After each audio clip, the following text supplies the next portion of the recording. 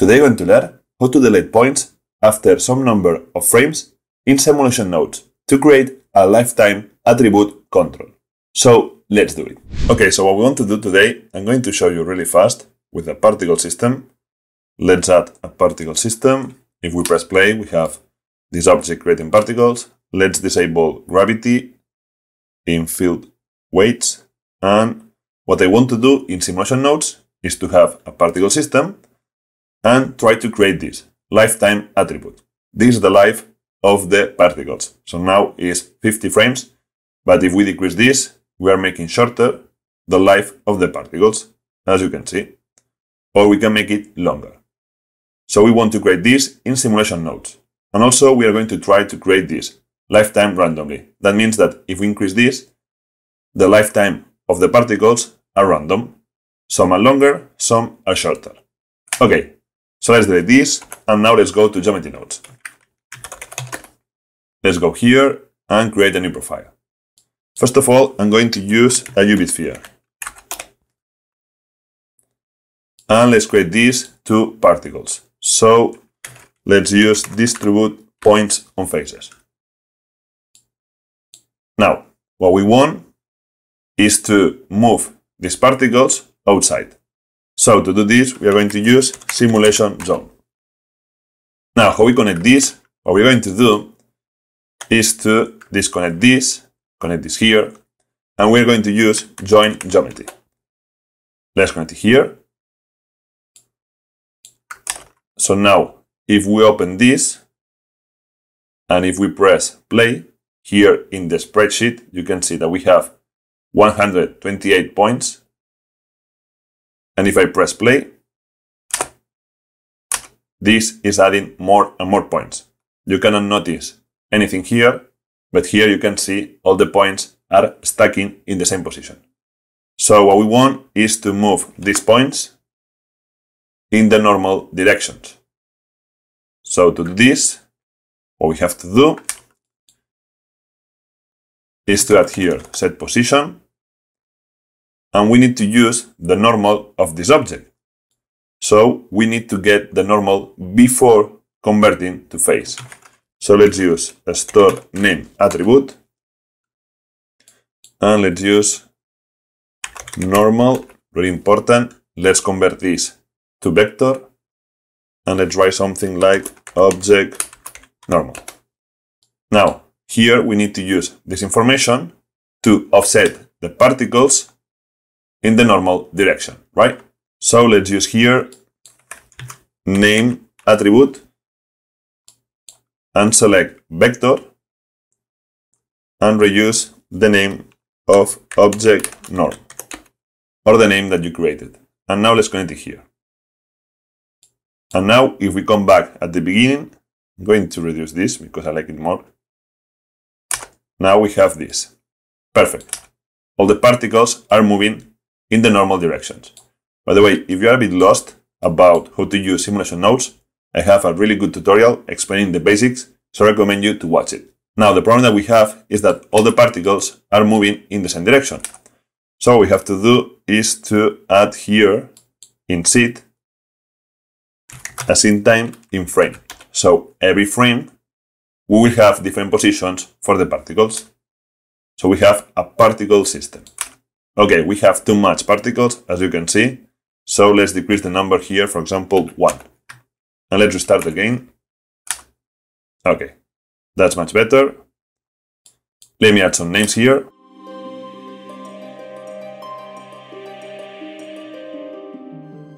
Okay, so we have this, this particle system. By the way, if you want to reduce the velocity, what we have to do is to go here and we need to add a vector math in the middle of this process, of the process of using the normal, and select scale. And now if we reduce this number, as you can see, it's going slower. Okay, perfect. So now the question is how we create a control to have the lifetime of these particles and not to accumulate all the particles. So to do this, what we have to do is to use store named attribute. Why? Because we need to create like an attribute to get the lifetime. So here, let's write, for example, lifetime. And we need to use a vector math and connect it here. And here, select 1. So every frame, we are going to stack one value. This will be the life of the particles. However, if now we leave it like that, it doesn't do anything. Actually, if you want to see the lifetime, we need to click points. And here, here we have the object normal. But here, as you can see, we have the lifetime of all the particles created. Look. However, as you can see, all have one value. Why? Because we are not accumulating, reusing this value. So every frame, they have one of lifetime. So we need to do something else. To make this work, we need to connect here, named attribute. Let's connect it here, because here we have one value. And let's reuse this. So if we write the same word, lifetime, or whatever you want, now as you can see, this starts changing. So let's come back at the beginning. And if I press play and I stop, you can see that the lifetime increased. So at the frame 37, we have a lot of particles that have this life. However, if we go down, you can see that other particles have less and less lifetime. Because these ones, the last ones, are the new ones that appear. So thanks to this, we can accumulate this value that we call lifetime, as you can see. Let's reduce the number of particles a little bit. And let's restart again. So here you can see again how it works. Now, what we have to do is to use this information to date the particles at some frame. First of all, I'm going to add here get lifetime. I'm going to select a color, for example, green, something like this. And now what we want is to delete this after some lifetime. So this is really easy. The only thing we have to do is to use delete geometry and use this attribute. So first of all, we need to create a boolean, right? So let's use here a simple boolean like greater than. And here in A, we need to use this information. You can connect it like this if you want, or we can do a copy and connect it here. So with this setup, now is deleting all the points, because we have selected points, if the lifetime is greater than zero. Right now, if I press play, we don't have anything, but if we increase this value, you can see that we can define the lifetime. So let's clean this. I'm going to write define lifetime and let's add, for example, the color red. So you know that this is to delete the points. So this is the important number, okay? This is like the threshold. With this, we are saying, hey, check this value, the lifetime, and we define a threshold, and we say, if this value is greater than this number, then delete the points. So that's why now, if we press play, we don't see any lifetime greater than 18. But we can define, for example, 50. And let's start again. And now as you can see, if I press stop, the maximum lifetime is 50. So basically, we create a new attribute called lifetime that basically is the life of the points based in the number of frames. And later, we use delete geometry to define the lifetime with this threshold. So it delays the points based in the lifetime.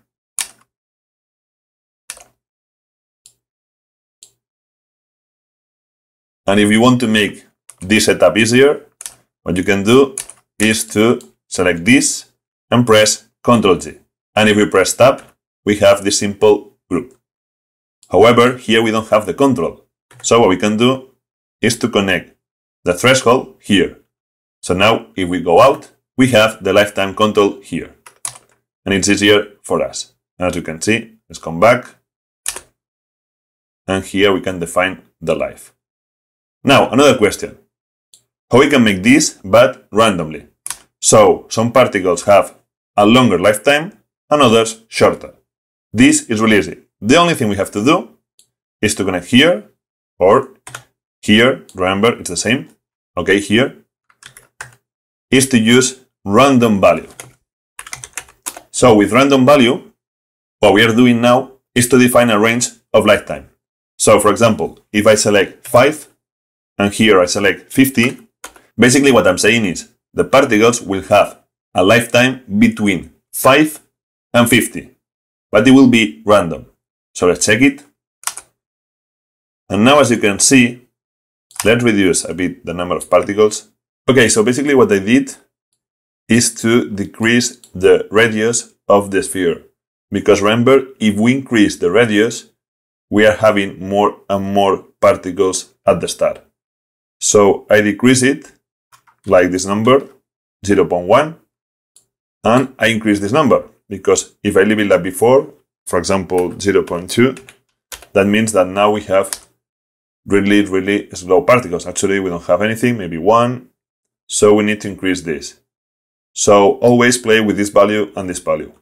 I'm going to select, for example, 40. And remember to see the difference between random value and not random value. Let's check how many particles we create, for example, with 50 in 100 frames. So let's press play and let's stop more or less here in 100. So we have this number 241 and now if we add a random value that means that some particles will have a shorter lifetime. So let's check again this value. Let's come back at the beginning, press play and let's see in 100 more or less how much we have. So as you can see we have less particles when we use random value than not using random value. Remember, we had something like 241. So just remember, if you want to give a random value in the lifetime, use this random value and here select the range of the lifetime of your particles.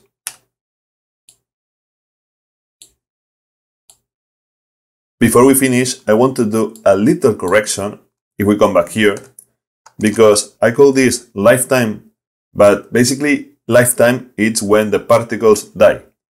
So here, basically what we are getting is the age. So let's call it age.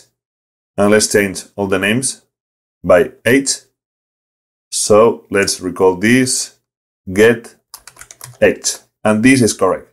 This is the lifetime. So one thing is how old is a particle, a point, and the other is to define when it's going to disappear, what lifetime is going to have. So it's just a little correction to make it more clear and not confuse you. This date and this number, then now if we come back here, this is the lifetime. Remember, if we discount this, this is the lifetime. So this is correct. I'm going to leave it like that. And now here, it should appear the attribute age here. So it's more clear and we understand better what is age and what is the lifetime. And if you want to see so many zeros at the attribute column age, so these three zeros, after every number, what you have to do is just to go to store named attribute here, and instead of selecting float, we need to select integer. So let's check it. Now I'm going to select integer, and as you can see, this column is more clear. So now we know with a full number age of every point, every particle. It's just a little correction, but I think it's more clear like that. In the next tutorial, we are going to see how we can color grade these particles based in the age, based in the lifetime. So if you want to miss this tutorial and many more, I recommend you to give a like, subscribe, and remember you can donate this project and many more on my Patreon. And see you in the next video.